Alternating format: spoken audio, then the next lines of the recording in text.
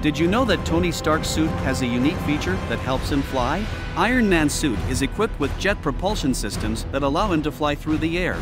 But how does he steer and control his movement? Well, the answer lies in the suit's advanced computer system, which is controlled by Tony's thoughts.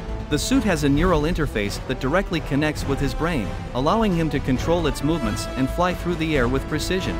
The neural interface technology is based on real-life research into brain-computer interfaces, which aim to create a direct connection between the human brain and a computer.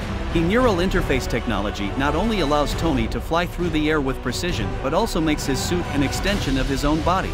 It's yet another example of how Marvel blends science and fiction to create iconic characters and stories. Thank you for watching.